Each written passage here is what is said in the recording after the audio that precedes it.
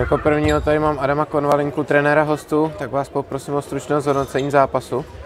Tak eh, domácí, domácí nastoupili trošku v okleštěné sestavě a v tom jsme měli trošku větší výhodu, že jsme mohli rotovat víc hráčů a bohužel jsme se zase nevyvarovali okének jak v první půli, tak, tak hlavně v druhém poločase, kdy jsme soupeři nechali až moc prostoru na to, aby, aby stáhnul skóre.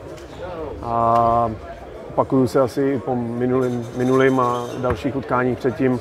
Prostě nehrajeme úplně skvěle, ale zatím nám to na vítězství stačí. Takže pro nás super výhra z venkovní palubovky, ač soupeř oslaben, ale máme před sebou ještě hodně práce na to, na to do další sezóny to zlepšit a postavit se silnějším soupeřům.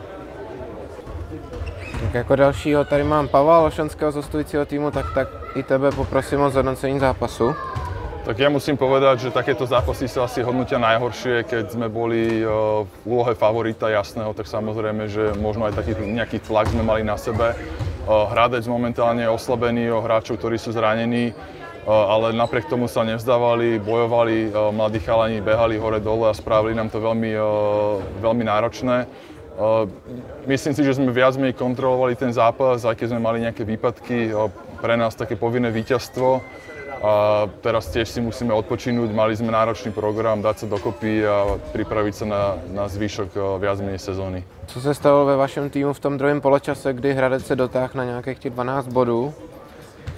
My sme nejak prestriedali a, a Hradec chytil momentum, hrali veľmi dobre, padli im strely a to vlastne o tom je basketbal, je to, je to hra nejakých tých momentov keď e, sme dostali nejakú šnúru 0,8 a Hradec sa nadýchol a dostal sa trošku do hry.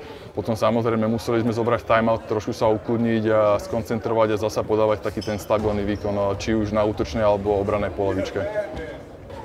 Tak z domácích tady mám Tadeáše Vlčka, tak nejdřív tě poprosím o zhodnocení zápasu.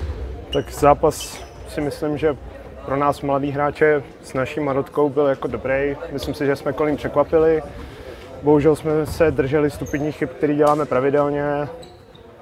Bohužel snažíme se odstraňovat, i když jich bylo méně než obvykle, ale furt tam byly ty chyby, kdy chyba v komunikaci nebo zbytečné ztráty a to nás hrozně trápí a snažíme se to odbourávat. Takže to byl asi ten klíč k, tý, k tomu zápasu. Dneska si ty osobně sám hrál dobrý zápas, tak jak se cítil na hřišti 4 trojky? Já jsem se cítil dobře, cítil jsem se sebevědomě, šel jsem do toho zápasu s tím, že můžu jenom získat že nemáme jakoby v podstatě co ztratit jako mladý hráč, takže, takže já jsem do toho šel s tím, měl jsem spoustu otevřených pozic a jsem spokojený sám se svým výkonem. Tak jako posledního poprosím Lubomíra Peterku o zhodnocení zápasu. Tak já gratuluji Kolínu eh, k přesvědčivému vítězství. A bohužel na Marotku přibyl další hráč, Filip Kábret, s nějaký střední potíže ale myslím si, že ten zápas, je to paradoxně, ale neodpovídá to úplně to skóre před eh, jakoby té hře. Eh, Kolín sice hru kontroloval, ale my jsme měli dobrý pasáže, stáli jsme tam náskok, myslím na 15, 14 bodů, možná, myslím, že to bylo možná i o 12, nevím teď přesně. Ale bohužel eh, ta zkušenost toho Kolína je obrovská, potrestal nás na konci prvního poločasu, kdy to bylo 7 na 1 v sekvence 4 minut, 15-5 a konec druhého poločasu, kdy, kdy, kdy se to zrodilo takovýhle vysoký skóre, podle mě zbytečně úplně, ale Kolín je zkušený tým a v téhle sestavě, jak jsme, tak bohužel nás, nás prostě máme další prohru, ale byly tam dobrý pasáže a máme se, myslím, o čeho odrazit, ale máme taky na čem pracovat.